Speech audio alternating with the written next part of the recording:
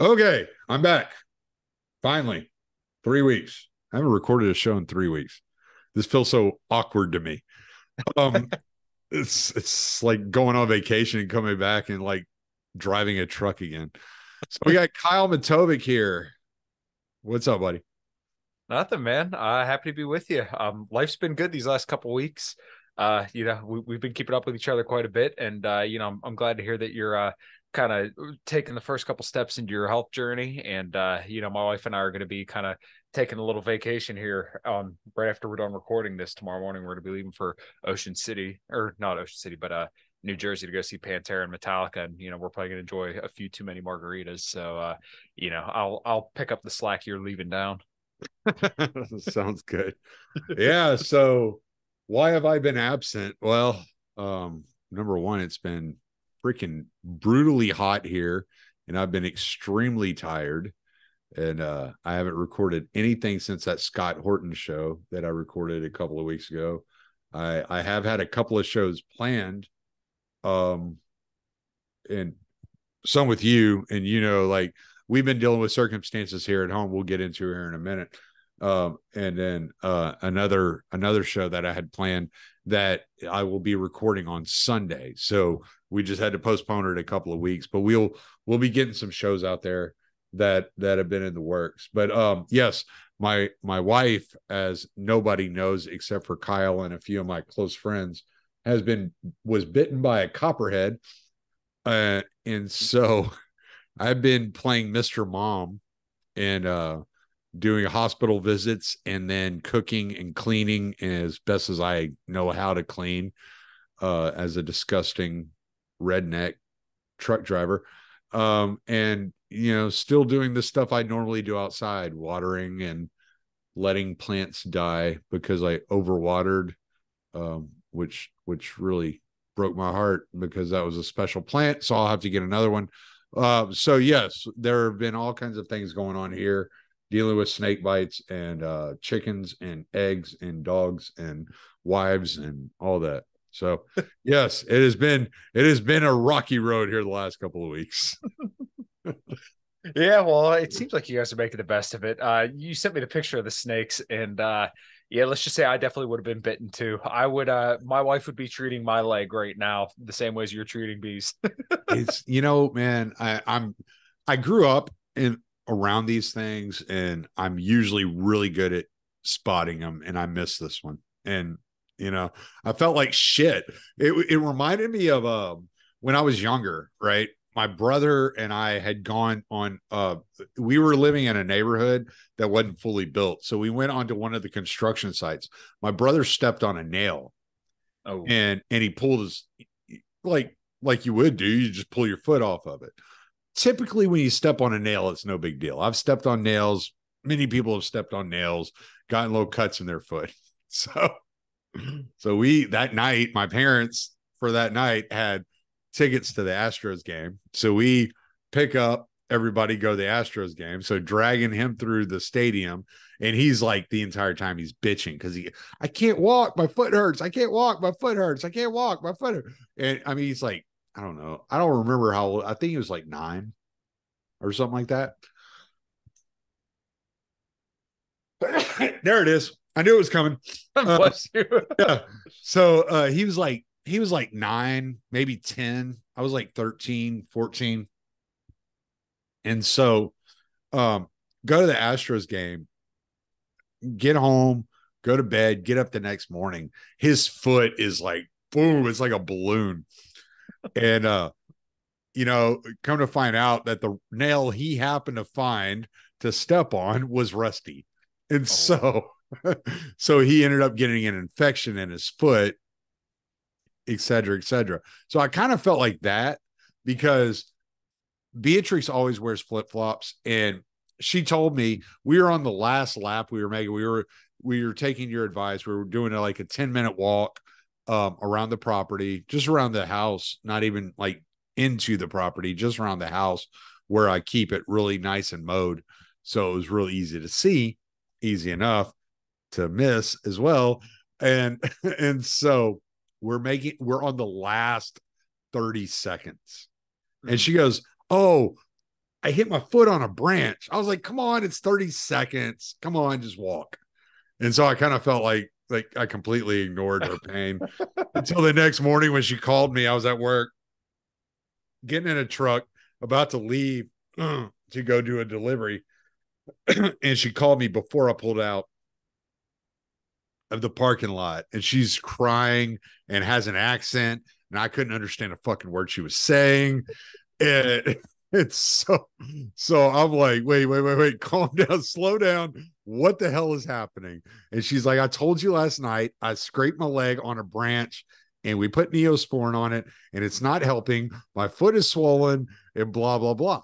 Well, when you look at the marks, there were three marks on her on her foot. And when mm. you looked at him and she told you she scraped her leg or foot up on a branch, you're like, oh, I can see that. Mm. But as soon as she told me my foot is swelling and I can't put any weight on it, I was like, was that a snake bite? I feel yeah, I, I I feel like you would know a snake bite from a uh, a branch like pretty not notably. necessarily because okay. we were walking. Yeah. So what it looks like happened because it was drugged down her heel basically. Uh. It was two drag marks, uh, a small like space, and then another drag mark. Mm. It looked like what happened is it she stepped right in front of its head and as she was taking a step it struck uh but it didn't like pierce the skin or anything it did it pierced the uh, skin there was blood uh, but it was it but it wasn't like it would it look like scratches mm-hmm. it didn't look like it wasn't penetrating marks like right. bang marks it was scratches so it pin it pierced the skin and injected just enough venom to bother her severely. Mm. so, so yeah. So it was just one of those situations where um, I didn't see it. Typically, I'm pretty good at spotting them. I missed this one somehow. Um, and and it bit her and it didn't it wasn't a clean bite which is making for her healing process to be a little bit easier on her so um though she is still pretty miserable because you know you don't want to you don't want to be putting weight on your foot that just got has venom like circulating in it you yeah. want that venom to circulate through your body to dilute right, so that it's not right. focused in one area if yeah. you're putting a lot of weight in circulation in that one area that venom stays in that area it kills all that tissue so you want it to dilute throughout your body so therefore it's not mm. destroying the tissue just in your foot sure so, yeah so, you would one thing that comes to mind quickly is uh like socks that kind of wrap around your feet. I've heard this before. Now I don't know how much evidence there is for this, but um, there's certain socks that are supposed to be like compression socks, right? And they're supposed to help with blood flow back up to your heart. So like sprinters and people use that to once again help with blood flow back to their heart and um, you know the fact that you guys are walking is obviously good because when you get blood to your extremities it helps recovery as well so i mean that right. that overall makes sense um, but you know obviously right now if you can't put weight on it kind of can't fucking put weight on it right right so they want her to they want her to keep uh keep the foot elevated so that it's pushing the venom up through her system. Yeah. the swelling is mostly down. Her foot's no longer black like it was the picture I sent you. Mm-hmm. It was it's um it's got kind of like you know like when your when your bruises start to heal they got to get that greenish yellow tint yeah, to them it kind of looks like that. So um but the swelling's down like almost completely. Um she's just experienced some pain she's still yeah. still dealing with some pain and it tends to be because I go to work and then she wants to do stuff during the day. She wants to try to cook for herself or whatever when I'm not here. And then I get home and I'm like, Did you clean the kitchen? And she's like, No, that wasn't me. And I'm like, Yeah, okay. So can't, and yeah, she's just, that's just who she is. So, like, what am I supposed to do about it? Yeah. I can't, I can't chain her to the bed. She still has to work and shit. yeah. Plus, if I chain her to the bed, I have to change the sheets, and I don't want to do that. I think uh, some people have this conception, and maybe I'm guilty of it as well. That like when you hear venomous, I think people tend to think that, that automatically means like you're fucked if you get bit. Mm. Um, I guess that's not the case then, huh? Typically with copperheads, it's not the case. Like Okay. uh, typically with copperheads, worst case scenario was you'll lose a body part. It's kind of like getting bit by a brown recluse. It just Sure. eats away at the tissue. Mhm. So so you wouldn't you wouldn't necessarily die uh from a copperhead bite. Um rattlesnakes are a little more venomous, cottonmouths are a little more venomous. So you you're much more likely to die from a rattlesnake or a cottonmouth than you are from a copperhead. Even a coral snake is more likely to kill you than a copperhead, even though you're much less likely to get bit by a coral snake than you are any other snake. That I mean, you really got to be fucking around to get bit by a coral snake. Yeah, so my brother, funny enough, is like way into reptiles, animals, and stuff like that. And what I've gathered from his knowledge on this stuff is that it seems to be like most snakes typically won't really fuck with you unless you really fuck with them. Um, Well, the problem with copperheads, um, most snakes will try to like flee. They'll try to get away Right. from you. A Mhm. rattlesnake will alert you by shaking its rattle and be like, "Hey, bitch, I'm right here. fuck around and Watch find out. out. You know, I know you're there.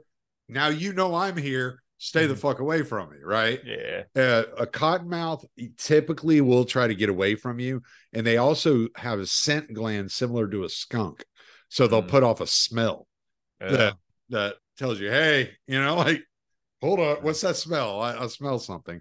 All right, well, copperheads freeze.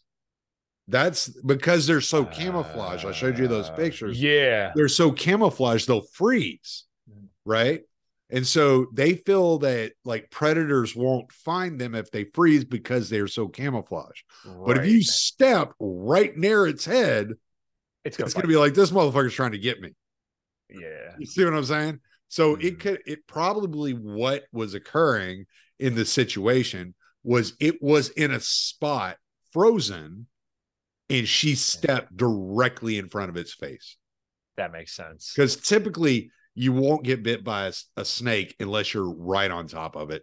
Typically, they try to get away from you, except for copperheads, they will freeze. And that's why so many people get bit by copperheads because they do freeze and people step on them, not realizing there's a snake right there. Yeah. Well, it, it, to me almost sounds like she was far enough away from it that it probably had to lunge at her because that would, in my mind, the way I'm seeing this is that like it probably went for the leg, but then wasn't close enough, so it just probably scratched but couldn't pierce. Maybe I'm full of shit, but that's kind of how I'm thinking about it. Well, it. no, what I'm thinking, what I'm thinking, and like we're just now it's just like guessing here. Like there's no way of knowing. But what I'm thinking happened is she was in the middle of the step whenever it struck. So it just scratched on her Right. foot. And so, you know. So Mm. because because what's gonna happen if you step in front of a snake, it's gonna rear back, like fuck you, right? Yeah. Now, if you freeze there, then you're no longer a threat to that snake. And I only know this because I almost stepped on a cottonmouth once when I was a kid. And so I'm like standing next to this fucking thing, and I'm like, oh shit, I can't move if I move. And I always knew that if you step near a snake, just freeze. That's because they can they see they can sense your motion.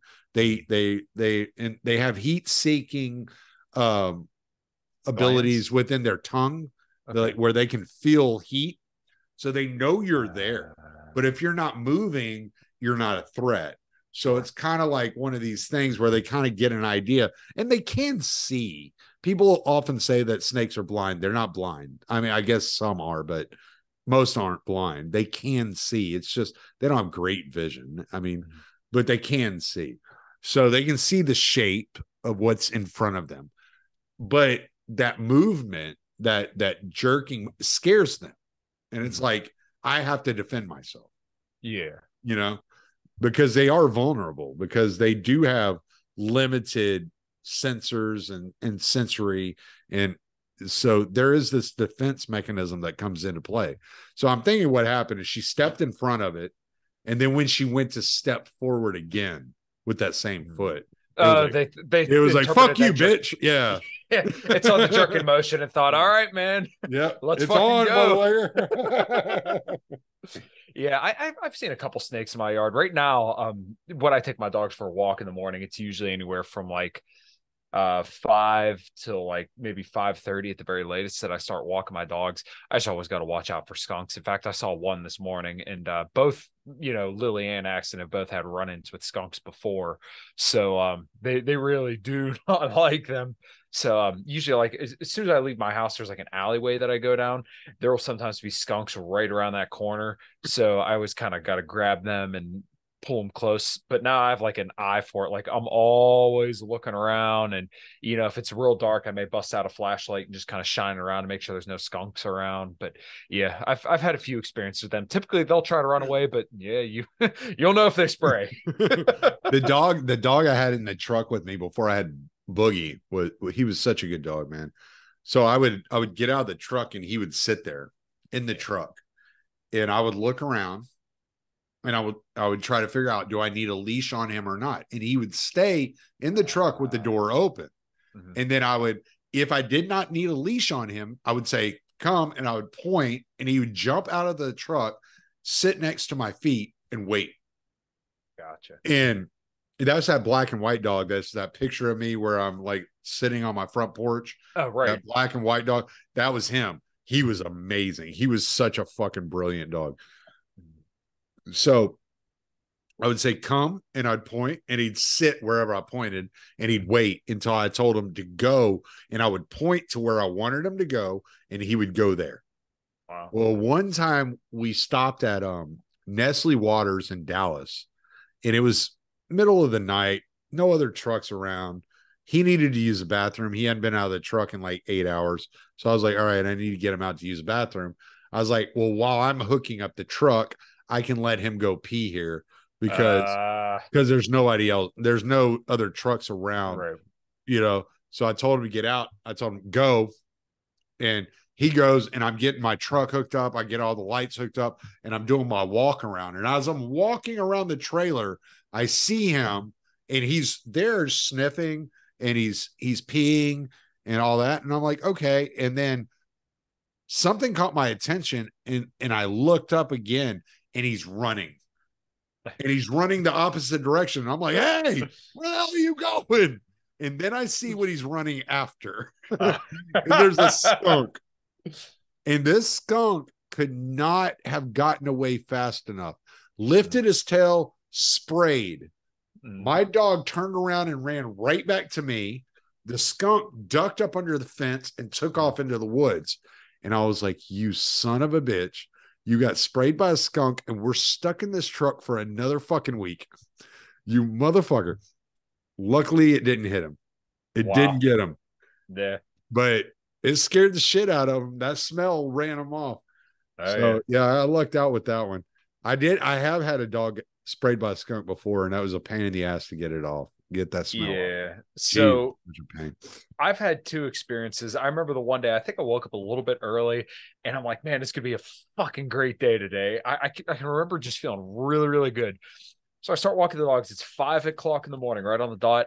I start walking, and there's like this uh, house with some stairs in this alleyway. And I remember watching both of them go up, and I'm like, oh, that's not good. And then they came back down and then I saw the skunk come out. I'm like, oh, you gotta be fucking kidding me. And like I didn't really think anything of it. I could smell it a little bit, but I you know, it didn't like click. And Axton was sitting there like flicking his face.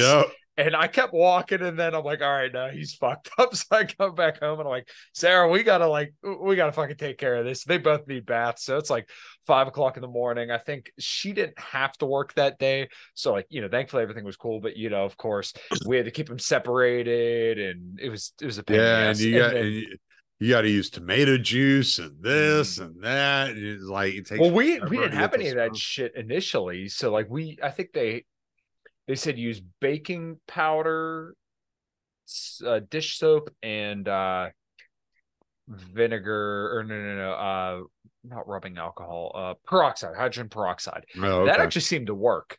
Um, yeah, the second time was Lily had went over to my side yard, and I remember watching this all play out. I she like jumped at it, and I remember watching the white tail like curve up and bounce back, and then I saw her go for it again, and then I'm like, oh no. Yeah. I smelled it, and she came up. She came running back up, and I'm like, "There's two retaining walls." She had to jump one and then jump another. I remember she's sitting there like constantly licking, Yeah. and her eyes are huge. She stinks. She looks like she just got like traumatized. I'm like, It's like she just got "That's what you get." She got bear sprayed by the police. Yeah, and she was in the middle of a Black Lives Matter rally and fucking got bear sprayed by the cops. Yeah, that was exactly what happened. And I think this was literally like not even a month after that first encounter. So, you know, sure enough, I'm like, all right, Sarah. Lily just got sprayed by a fucking skunk too. So uh we got all, all showered up. But yeah, she looked devastated when she came back in. I'm like, well, now you guys know, leave the fucking skunks alone. that fuckers stink. Yeah. But and they're not fast either. They are not very fast. So, you know, both my dogs, they're fucking quick. They'll they'll be able to go right to them. So now, you know, if I ever see them when we're out, I usually just run so that way they'll run with me, or Yeah. um, you know, I'll just pull them away. Yeah. Yeah. I and you know, it's like, um, all right, so Pinky, when I had him, he had gotten bit by a copperhead. So he had to deal with that. And then Slayer got bit by a copperhead. And then, but Pinky, he learned that first time. Anytime he'd see a snake, it didn't matter what kind of snake it was, he'd fucking go berserk. He'd see that snake, he'd start barking and growling and carrying on for himself. And uh, he wouldn't get near it because he knew that's that son of a bitch that bit me. I ain't fucking with this thing. And so, and then um Butters has been bit twice. Um Boogie hadn't been bit once. And this year is so dry. We typically down here in the southeast Texas area, we get a lot of rain Mhm. um uh between spring and summer. It's been so dry. Yeah. I hadn't seen but one, and it was a baby. It still had a green tail. And in order to understand what I'm talking about, you'd have to go Google copperhead babies. That you'll see their tail has a different color. They grow out of it. They they lose that color, but but it still had a green tail. And I killed it. It was by my barn. It was over on the other side of the yard. I've been able to mow so much more of the property on the other side of my chicken coops because it's been so dry. Mhm. Even though it's a low area, and I hadn't seen any, and usually that's where I always kill them. I usually kill about four or five a year over in that area. This year, I hadn't seen any, and that's where she got bit. It was over there. It was like motherfucker, you know. So it's So- like the humidity or uh the wetness draw snakes in, or does it kind of keep them away? They well, well, copperheads are are um cousins to uh water moccasins or cottonmouths as we call them down here in the south. Yeah. Um, they're cousins. They're basically the same snake. They just have Okay. different colorings. They're they're attracted to damp areas. They like the wet, humid, hot area. So if it's drier, you're less likely to see them. You're more likely to see a rattlesnake in a dry area, which they're all three pit vipers, but rattlesnakes just aren't quite as attracted to the the wet. Whereas copperheads and water moccasins or cottonmouths, whatever you would rather call them, um, are are attracted to that wet area. So um we don't I've only seen one cottonmouth on my property. Just Mhm. one. And it was on the back side of my property on the other side of the pond, in between the pond and the and the woods.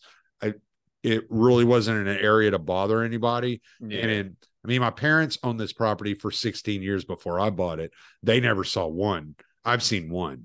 Mhm. Right. So it's like in 20 years, we've seen one cottonmouth on this property yeah, not an it's issue. all the only venomous snake we see on this property that that will cause any issues is copperhead Mhm. um the the all the rest of the snakes we have out here are pretty are are non-venomous and you could probably you could walk up to most of them and just pick them up yeah. you know i mean they might bite you but it ain't gonna hurt you, you know Yeah. might, draw, might draw a little blood, but it ain't gonna hurt you because we have yellow belly water snakes, we have speckled king snakes, Mhm. we have rat snakes, garter snakes, worm Yeah. snakes. I don't know what else to call them other than worm snakes. Uh, they're these little six inch long brown snakes that burrow in the ground Yeah. like like freaking moles. and then um I think that's pretty much it. Yeah. I've Yeah. seen a couple garter snakes in my yard. Not uh, very common. I'd just be worried about one of my dogs seeing it. I, I know um I've I've had moles in my yard quite a few times, and Axton's got a hold of them, and it's pretty funny because he'll shake his head and just fucking ship them. he'll send him flying across the fucking yard. So I, Like I- I that tried- like that video of the dog with the snake you sent me the other day. Oh no, Oh that's goodness, another one. I that's another one we do have. We have a the the ringback water snake. It, but like water snakes like they don't bother me. I I if you see a snake and it's black, if it's solid black, leave it alone yeah. because it eats other snakes. Oh, okay. So, and if it, and like then you have your king snakes that eat other snakes. So like I leave non-venomous snakes alone, which is how I ended up getting two of my ducks eaten by a rat snake Hmm. because I don't kill rat snakes normally. I just leave them alone. And these rat snakes are like they're like they're constrictors. So they'll get up to like seven Oh. feet long. Oh Jesus. Yeah. yeah. Well, the one I caught in my coop eating my ducks, it had eaten two of my ducks that day. Fucking That'd be a hell of a sight that- to see. fat son of a bitch. He was six foot long, yeah, and he had eaten two of my ducks. So I cut his head off and threw him to threw him to the turtles in the pond because I was like, "You motherfucker!" Like I would have let you be. I, have let you be all this time, you Yeah. know, like you know, but but like those snakes aren't going to bother you. They're not going to hurt you. They're going to try to stay away from you. You could walk up to them and pick them up, you know. Well, unless you're a duck, apparently. Yeah, unless you're a duck.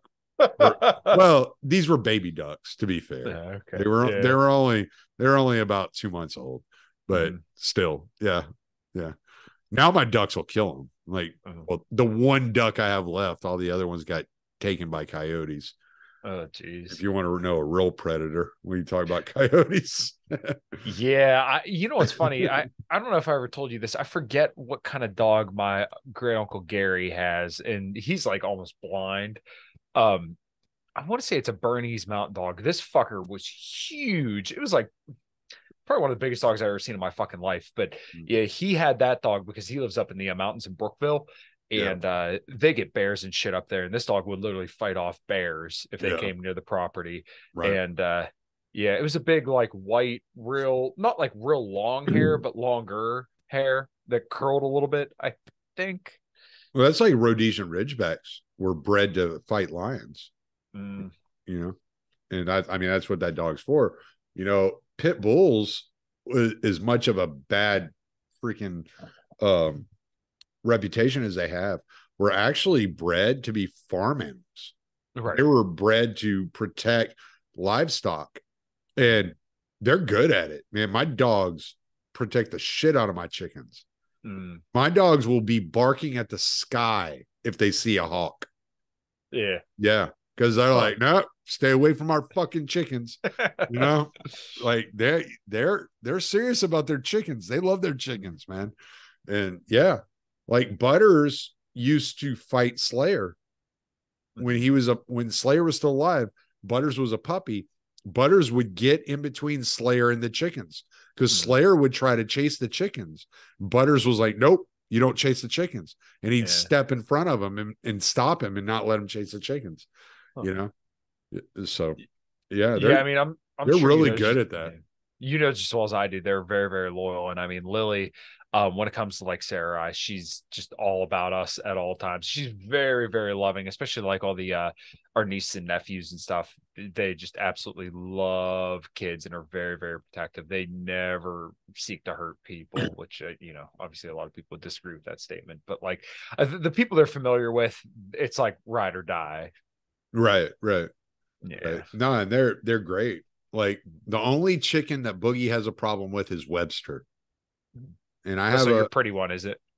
No no she's a little i've had her for like two years now.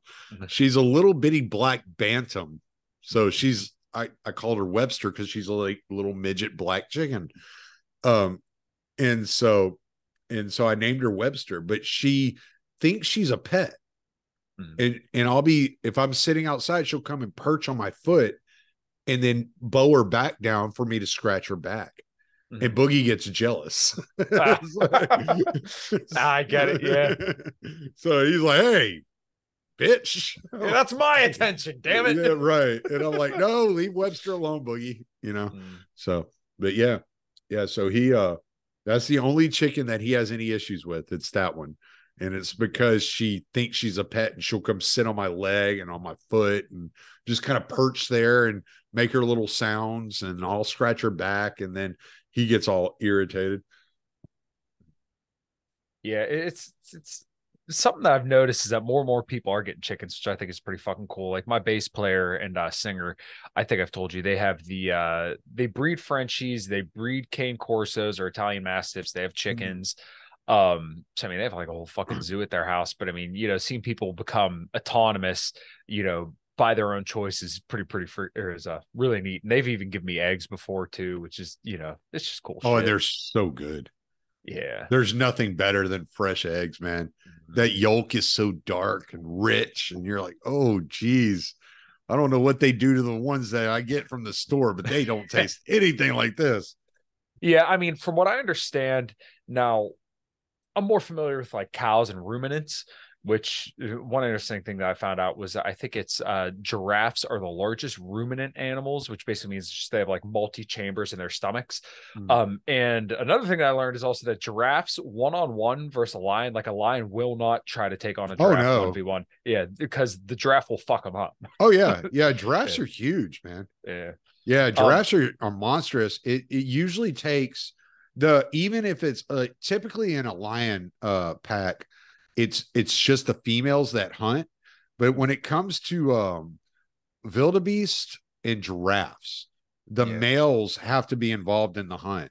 And Mhm. usually, if it's it, usually uh, uh um it, it's it's the lions that have multiple males that are that that are within that pride that Yeah. actually go after giraffes.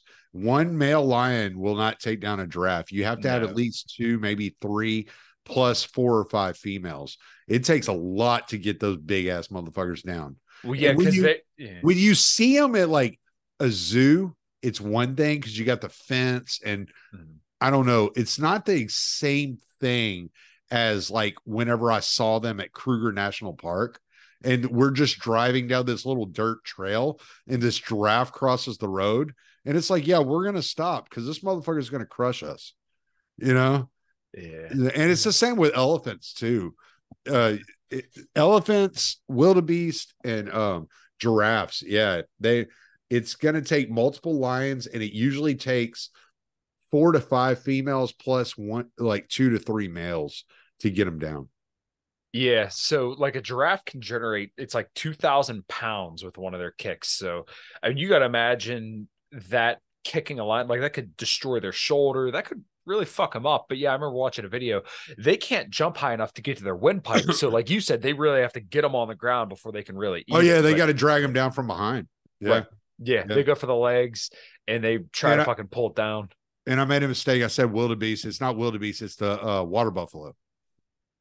It's Uh, is that yeah. the one with the the dark one with the horns that kind yeah, of that go kind of out? curl. Yeah. yeah, yeah they're so big they're Mhm. beautiful but yeah it takes it takes female lions typically will not hunt water buffalo Mhm. they they wait for the male lion to to join in on the hunt to take down a water buffalo and they usually have to be desperate to go for it it usually has to be like they're on the verge of a dry season and they know all the prey's leaving and so yeah Yeah. Another uh, interesting fact I learned is that hippos actually kill like exponentially more people every year than sharks. Like, like some people- like 22,000 people a year or something like that oh geez, I didn't think that. yeah much. it's it's a lot well, hippos are like super territorial, and not only that, um, they'll tear like, your really boat fast- in half like yeah, they're fucking fast swimmers too. Like there's Yeah. um I remember looking at videos and seeing these people in like a smaller boat and there's this fucking hippo just hauling ass behind him. So like, yeah, I mean, we all think the hungry hungry hippo's cute when you're sitting there playing with your board game, but don't go near one of them fuckers. They will fuck you up. yeah they'll tear you to shreds man Yeah. those fucking things are mean yeah Mhm. for sure Yeah, I think I, I remember reading somewhere for some reason. I remember reading somewhere it was something like 22,000 people a year die from hippos. Wow. Yeah. Yeah, you know, I, I thought I think I read like four or five hundred somewhere, but maybe I'm getting the numbers mixed up. I could might be wrong. It could be it, it could be 22,000 in comparison to something else. I, I but I just for some reason that number 22,000 sticks out in my mind. It was it was some it but it, yeah, it was an enormous number. Even more than like crocodiles and and stuff like that. Like hippos are like the most vicious river animal there is. Yeah, yeah, you do not go near hippos in the wild because they're incredibly territorial and those are big fat fuckers that you probably can't kill that easily. So like when you think about sharks though, sharks don't like they don't hunt prey. Like they won't go up to a human and try to eat it because they're hungry or anything like that. If they see blood or something they will. But typically like if they're trying to get near you, if they're if they're swimming like slowly, they're not going to bite you. But like if you see one starting to move a little bit quicker, that means you're probably going to get fucking bit. I was reading a book about it um while Sarah and I were waiting to meet Kelly Clarkson and they literally said if you, You- have a wait, wait, wait, wait, wait, wait, wait, wait. You were doing what? So I, I took Sarah up to New York City and this was this is a whole nother experience but I took her up there to go meet Kelly Clarkson and you know th- this is kind of like how we have like this Mikasa Sukasa where like Is that that did the- chick? is that that chick from American Idol, right? I think so yeah Yeah, okay. uh, she's been big now for like ever and a half but um so like you know i take her to go meet kelly clarkson back in june up in new york city and we both like realize holy fuck new york city's a fucking shithole and then now like we get you know she saw pantera and and uh lamb of god uh, with me on friday night and then this weekend we're going to go see uh pantera metallica on friday and then metallica again on sunday um because they're doing like a whole weekend thing so um I, I was I was proud though. Like th- the hallmark of like a good relationship is a situation like this where your wife is a Kelly Clarkson fan and she does not like heavy metal, but she goes to the concert with you and then says, "Go into the mosh pit." Um, I'm enjoying this concert right now. I can't understand the word they're saying, but I'm enjoying this. Like if, if, if your girlfriend or wife, you know, is doing this for you, then you probably have things relatively well. If you know, if your wife's a prude about it, then you might need to do some work. There, there might be something missing here. But I, that was like another check on the box for me. And you know, obviously, I have no qualms with my wife at all. But like, that's how I know. I'm like, we we got something good here. yeah, yeah. No, Yeah. well, my wife's a metalhead, so I don't have to worry about it. Right. The only thing I have to deal with is this goddamn electronic dance music she likes to listen to every once in a while, and I'm like, oh shit. So I send her to England for two weeks so she can go see one of their concerts, and I don't have to go. Um, Win-win situation. yeah, I mean that's like the you know that's that's that's my that's my give and take there. I'm like, okay, you can go to England, spend two weeks with your mom, visit your friends, and go to one of their concerts. I don't have to go because somebody has to stay here and feed the chickens and feed the dogs and do all this shit around the house. Hmm. So, yeah. Uh, but yeah. Well, I, I don't want to like, I don't want to keep you too long, but I also wanted to kind of get into what's been going on because I have not been on Twitter. I have not been paying attention to shit. I know Donald Trump had got charged with something and and now there's like all this well, people are starting to recognize that there's evidence that Joe Biden was involved in all these deals. What else is happening in the world of politics, man? Dude, it's been I've same. been- I swear. I've been gone for two weeks. I haven't looked at a damn thing in politics. I'm like, I don't give a shit. I'm busy. I got things to do. So No, it just seems like the same shit. Like I swear to God, it's like we're reliving the same cycle over and over again. Like Trump gets indicted, another thing comes out about Joe Biden figuring out that he's corrupt. It's like the same shit just keeps happening over and over and over again. Like, yes, we understand the deep state hates Trump. We understand Joe Biden's corrupt. We understand nothing's going to change, and this is going to just be all the way until the 2024 election cycle. Um, you know, the money's going to keep going to Ukraine. Uh, they just signed a 345 million dollar arms deal with Taiwan. It- It's just going to be nonstop escalations left and right. I I can't be bothered to have an opinion on this at all times. I was actually talking to uh, Brady Leonard about this, who is a uh, really really good dude, host of the No Gimmicks podcast. I just did a live stream with with him before we hopped on here, and uh he was like, "Yeah, man, I just can't have a take on everything at all times. Like, there's stuff that." Him and I both kind of agreed on this, like shit that you'll see and you'll just intentionally block out. Like, I just, I can't have an opinion on this right now. Like, I don't know. I don't want to know. he was saying he kind of does that stuff with the Libertarian Party, and I find myself more and more closely aligned perspective as well. So yeah, it's just another Trump indictment, and it's like, yeah, we know they're just gonna fucking go nuts, do everything they can to tarnish this dude's reputation, and his base is gonna act one way, you know, the Democrat base is gonna act another way, and I think a lot of people just kind of look at it and like this uh, like fucking dog a pony show is so old. So what do you think is happening here though? Do you think there's actually like like some actual dirt there, and there's actually something gonna happen? Because I, I don't know. I have a I have a hard time believing they're actually going to go through with anything because then it's just going to be a tit for tat, right? Yeah. I, in order to maintain the kayfabe, right, the professional wrestling deal, um, Trump is like the best thing that Democrats could ever ask for because they can like fundraise easily off of him, and he evokes such like a visceral reaction on both sides, where like the hard right wingers all love Trump and will support Trump no matter what. I mean, you see that by the polling, um, and like the far left wingers, they hate him and they're all going to rally specifically against him no matter what. So Uh, do they would they actually go through on a charge? I really don't think so because I think they realize if they go through with that, then like you said, it sets the precedent, and now you know now it's just gonna be tit for tat, and I, I don't think the electorate in general really wants that blood for blood 24 7 i think they want some blood that much is clear but i don't think they want like holy fuck, we're just constantly reining in our political foes and throwing them in prison. And like, yeah, they're doing that to dissidents, but like on a presidential scale, I don't think they want that fucking smoke because I think that's when people are going to start losing their fucking minds. And people are losing their minds already, but I think that it, it gets pretty fucking gross when uh, you get down to that level where you're literally imprisoning political foes like consistently.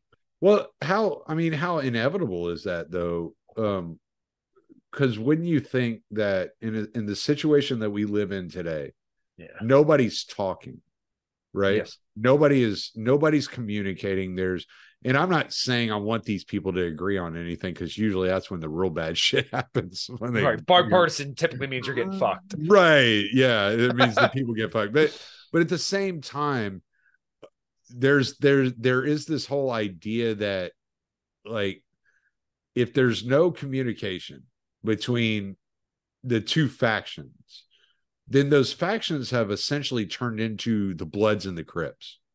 Yeah, that means yeah. You, you see what I'm saying? Yeah. And the only thing left to do is to fight. I feel like on a national level within the United States, they disagree along very superficial borders where you have like kind of your outliers where I would say like maybe your Matt Gaetz, Thomas Massie, Rand Paul, um, and even like some of the squad are a little bit more notable and they in some very very small situations may be willing to reach across the aisle but then like the rest of your majority who you couldn't name like i think my con my congressional rep is guy reschenthaler um he's going to vote with you know the rest of the uniparty essentially as cringe as that is to say. He's going to vote with the uniparty majority of the time same with like most of these other people. Um now where i think at least I'm naturally optimistic. I think seeing, you know, Matt Gaetz and even some of the people on the squad who are pretty much horrible on anything, when those people talk, I think that kind of incentivizes people to lower their guard a little bit. Where like, you know, Matt Gaetz is a little bit more of a culture warrior, but he still is willing to work. With... He, I heard I heard he uh is is um promoting a bill to cut US aid to foreign countries.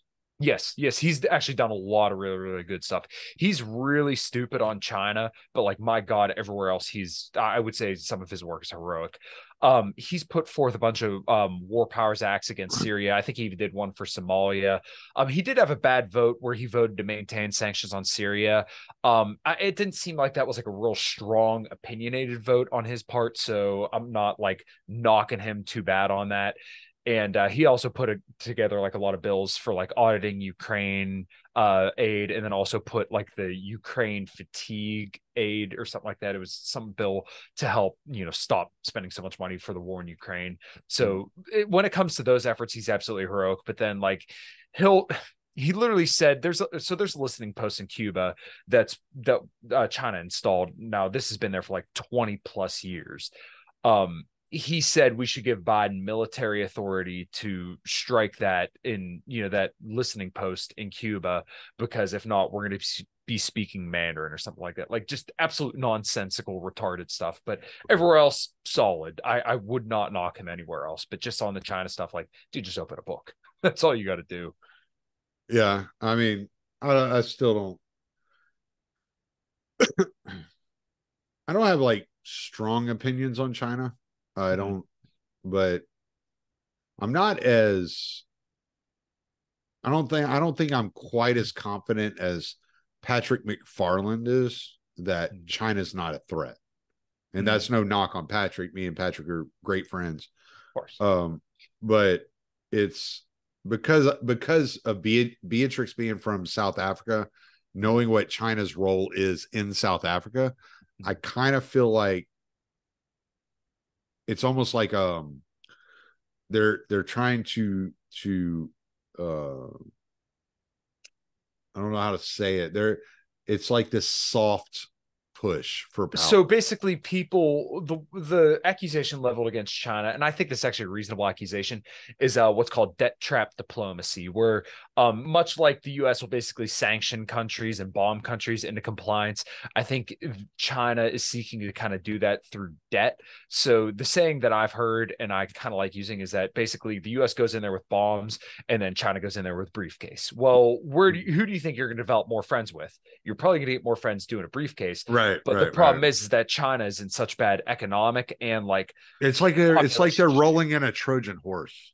Exactly. Right. Yeah. I, Yeah. I, I do think it is debt trap diplomacy, but uh, the question is, and this is where you know we kind of when we talk about de-dollarization, um, you can't plot any of this shit. Like to make a prediction on this shit is so like I, I I can't do it. I'm not well enough informed, and I don't think anybody else really is either um when you look at like china demographic wise their population is going to be halved in like 30 years um they overestimated the amount of people that they have like my age actually our age so like 20 to 50 by 100 million um by their own stats and What, that's like what do you mean? They, what do you mean they overestimated? They so like they, they didn't actually that, count.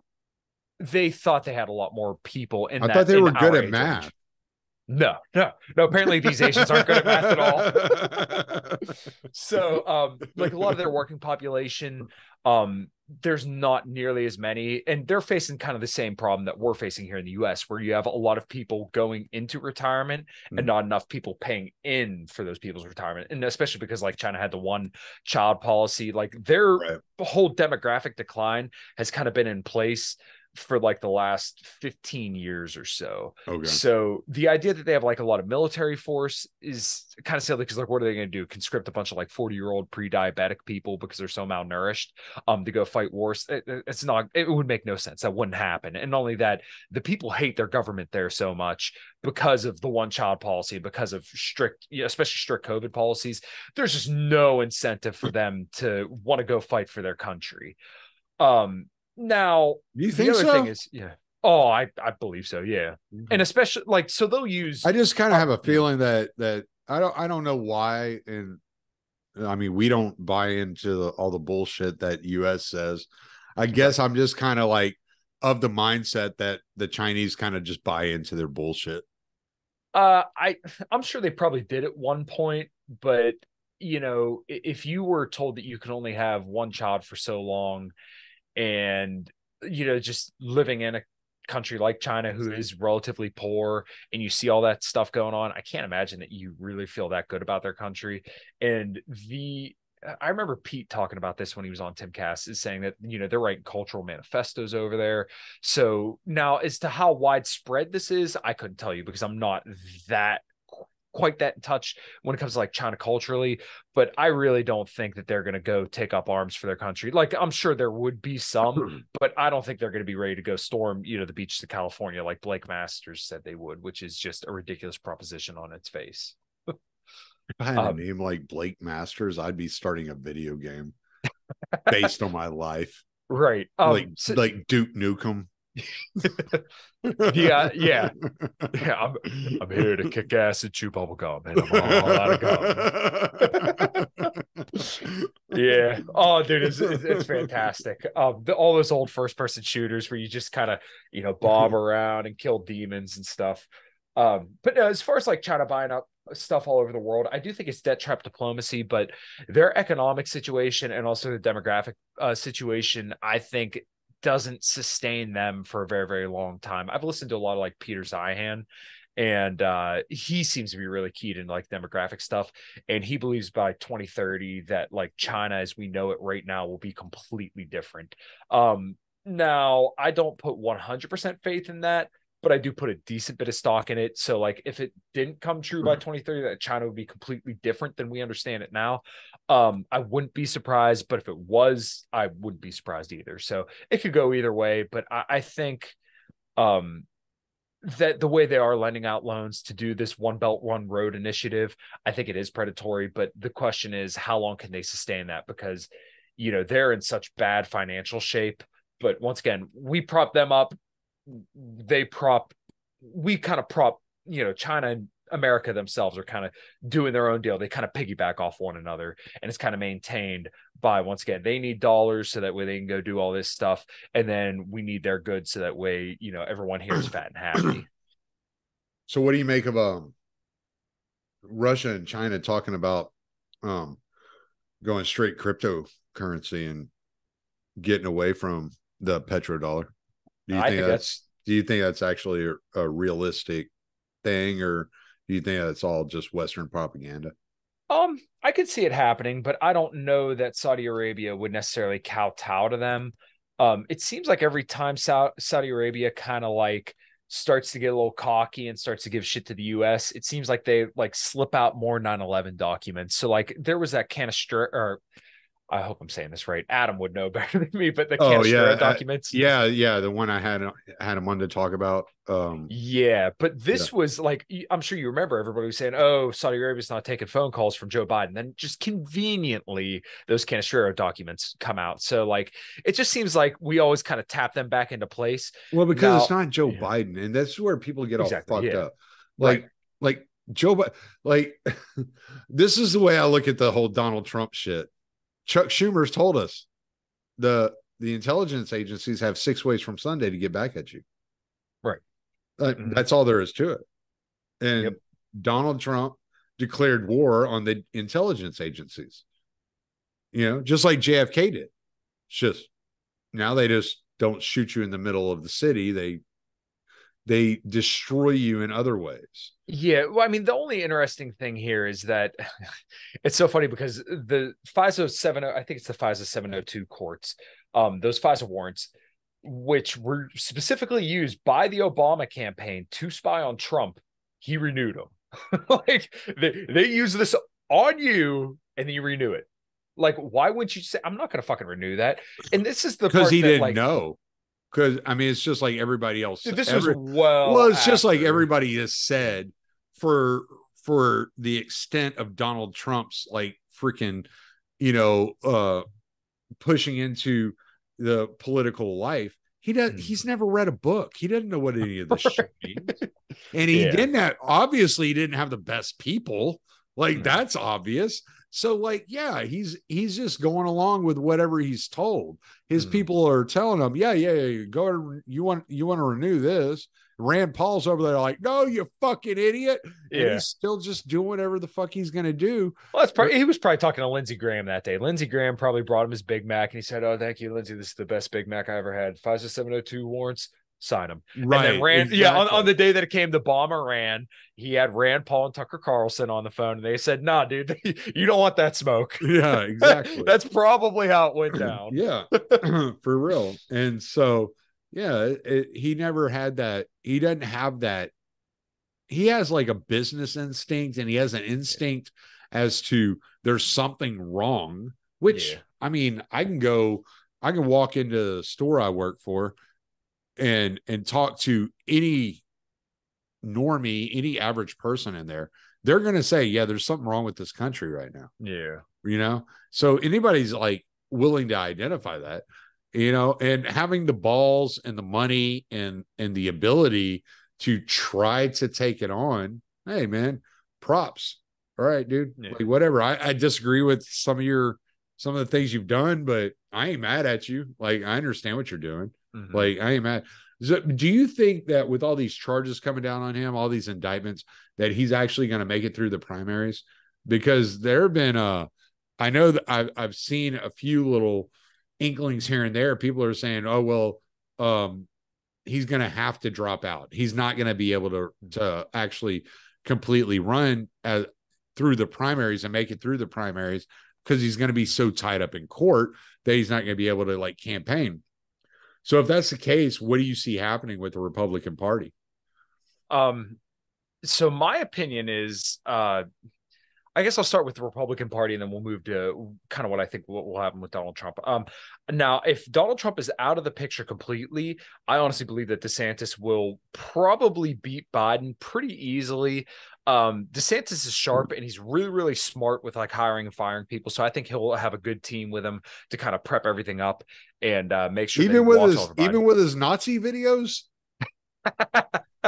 well, I I was just watching videos actually earlier today of uh they're calling him a revisionist historian because he was uh he like Kamala Harris wouldn't debate him about something uh something like he was teaching more about slavery in schools or something like that. I, I it was something stupid that uh you know, of course, everybody just loses their mind about because DeSantis isn't a uh, you know progressive. So anything that he does, and he's actually not afraid to use government for his own you know desires, which you know take that for better or for worse. Sometimes it's for worse, and sometimes it's for better. Right. Um. But yeah, so basically, I would think DeSantis is probably gonna be the number one guy. I think that he would beat Biden if Trump is completely out of the picture. But now moving on to Trump, if uh I think this is going to be a pretty bloody battle. I thought it was going to be pretty easy for DeSantis to go after Trump, and I thought it would have been like a pretty tight fight. But it's looking more and more like Trump is going to walk over DeSantis pretty good if DeSantis doesn't get his ass in gear. I mean, we still have a year and a half before all this shit really kind of comes to fruition.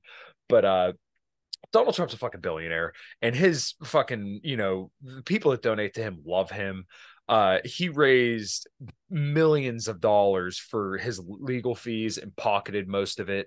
Um, same deal with like all the election fraud lawsuits that came out. Um, I think he raised $250 million and only spent $40 million on the actual lawsuits.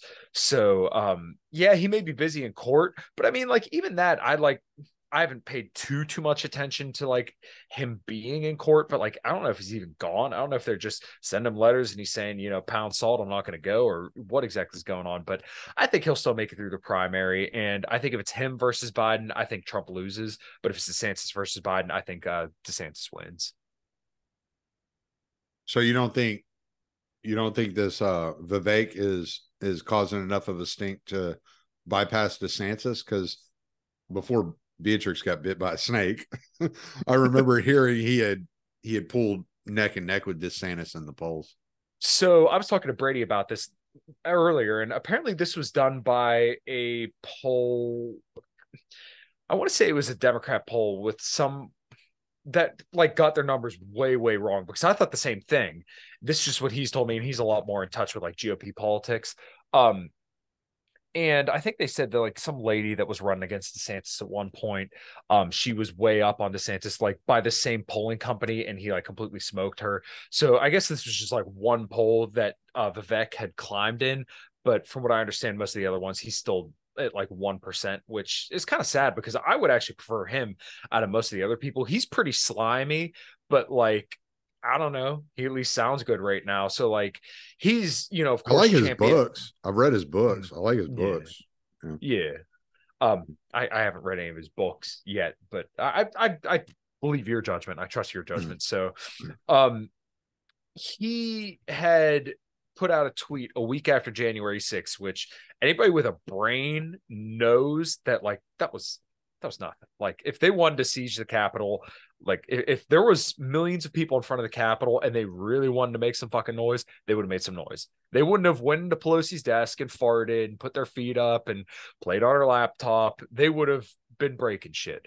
Um, he put out a tweet literally a week after January 6th and said what Trump did last week was disgusting or something like that. And then of course he's all about oh we need to pardon him and he, not that he's wrong but like well he has he has clarified on on how he has gotten more information since then. So I mean I don't really hold people to that standard. Like a lot of people will call that like flip-flopping, you know and and they but they do this with all politicians. And it's like well if, if you get more information mm-hmm. and it changes your mind like for an average person that's okay but for somebody who decides they're going to run for po- uh political office that's not okay well it's like no i, I kind of would like my the politicians to be informed and and to change their minds when they're wrong so he has he has commented on that and he has had conversations about that. So I don't take that too personally. I don't I don't look at that too too seriously. I mean, it, you know, we were only given the information they wanted us to have. Mm. But I mean, I'm not like caught up on any of these guys like like real I kind of like have the opinion I should vote for Donald Trump just because so many people I hate hate him. You know, it's like that's yeah. kind of my opinion at this point. That seems but, to be like the majority of people I talk to. That seems to be their opinion. Like I don't even hear a lot of people saying like I like Trump. They're just like he makes a lot of people mad. yeah, all the people I hate hate him. So it's like, yeah. All right, well, he must be doing something right. Even though I, maybe I don't see it, maybe I maybe I'm un, unable to recognize exactly what he's doing that is correct, but he's making the right people mad. And I'm like, okay, but I mean, I I don't know. Um, what do you make of um RFK Jr.? I it, it breaks my heart because he's the only good candidate on China. He's the only one that's saying like we should not go to war with China. And all the other candidates may like pay lip service to that, but they're extremely hawkish. He's the only mm-hmm. one that is not hawkish on China. So, um, really, really like RFK until this whole Israeli shilling campaign where they called him an anti Semite, and now he cannot do enough to just bow down and kiss the ring of Israel. Like if he would have just said like, "Hey, I'm not an anti-Semite," like, "Do is hey, this is my friend Rabbi Shmuley, who's like the slimiest motherfucker on the face of the planet," um, I, would have not liked it, but I would have been okay with it. But like, he is just doing this huge groveling fucking campaign to do everything he can to remove the anti-Semitic stain off his career, and it's just so fucking gross.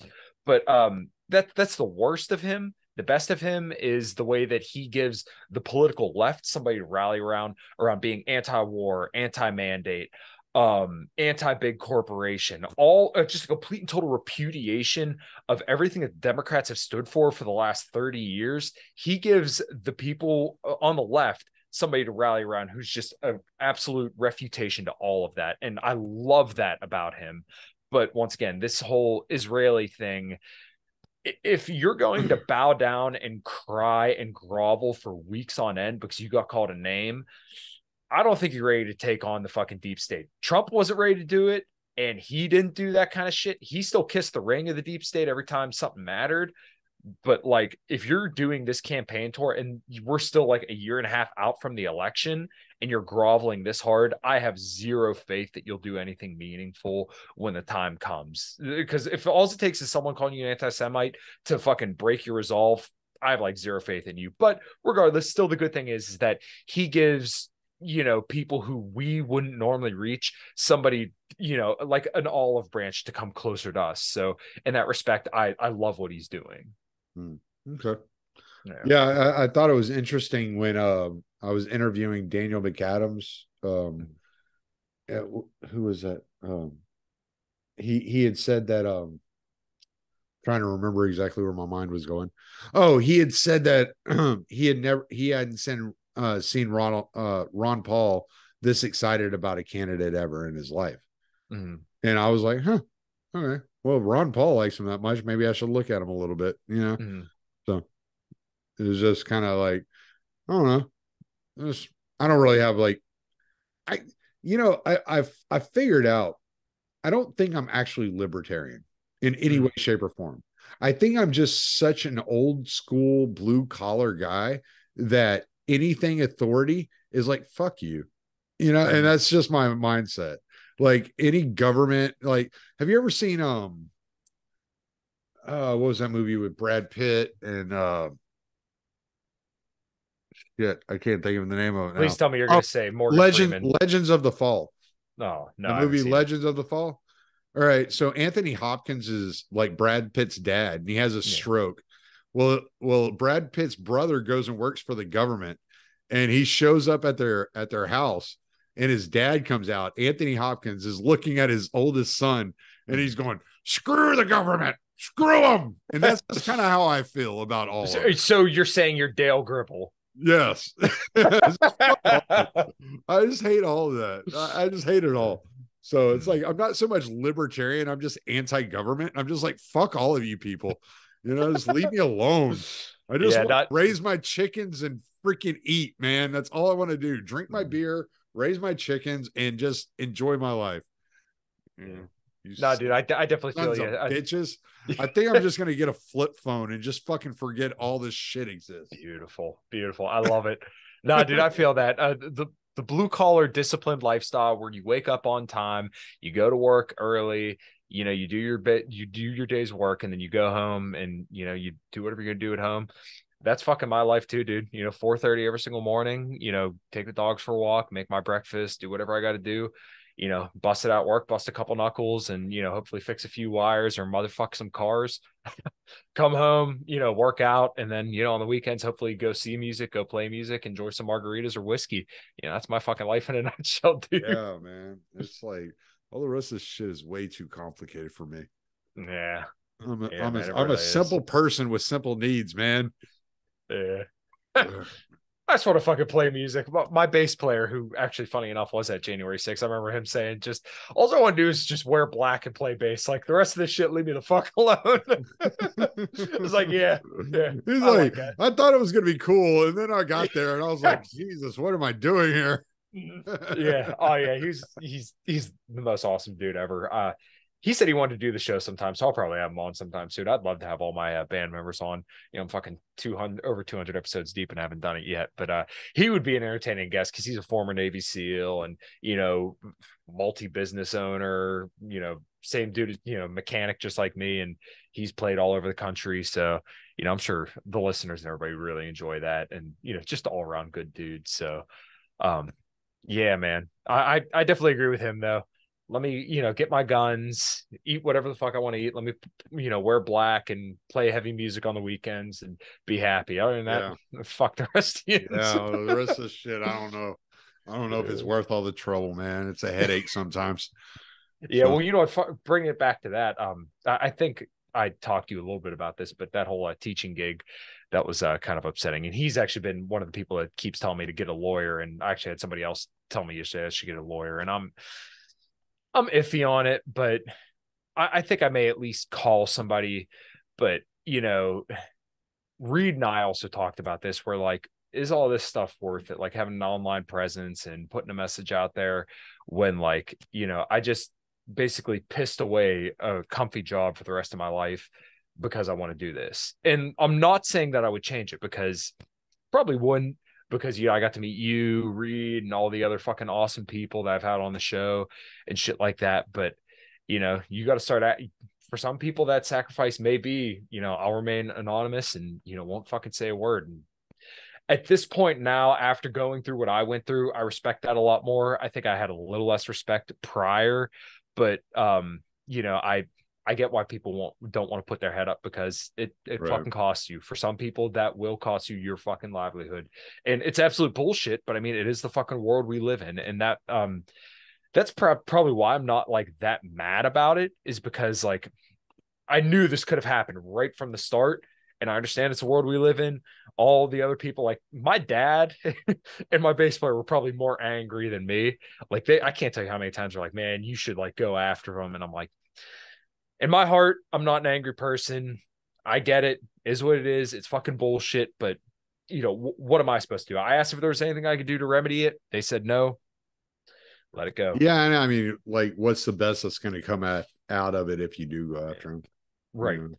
Well, what are they going to do? take Hire a- me? It's going to take a lot of time and energy on your part Mhm. to get what uh, a couple thousand bucks or they're going to offer you a job now that you now you don't want it because you know that the only reason they're offering it to you is because they had pressure put uh, it's like I don't know. And then they'll fire me at the first chance, anyways. right yeah they'll find they'll find something. yeah yeah so I, I don't even know if it'd be worth it to no, I don't. I think mean it is. yeah make your phone call you know Mhm. see see what you can find out but i don't i don't think anything good is going to come of it Yeah, I, I generally agree. And I mean, it was kind of like a handshake deal because they said, okay, well, you like, we're going to hire you, but you have to pass a school board review. So, like, that was my thinking, like, oh, well, if that makes to court, then they're just going to fucking throw it out.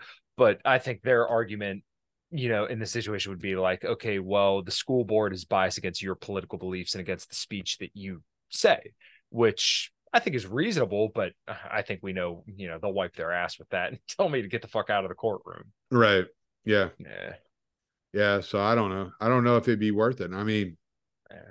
explore it see what see what you know a good attorney says but because i'm definitely not a good attorney no, maybe I'll call Pat. Maybe I'll see if I can get him on the case. yeah yeah you probably don't want to fucking deal with that. yeah, no, yeah, I'm not the person to ask because I'd just be like, oh, yeah, let's go burn the place down. It'll be all right. yeah, and this one's off YouTube now. No, I, I don't know. Maybe, maybe not. We're not literally gonna do that. No, I said I, I said I would say do it. I didn't say I would do it. Close enough. Oh well, yeah, dude. I and you know me. Now I'm in. Now I'm inciting.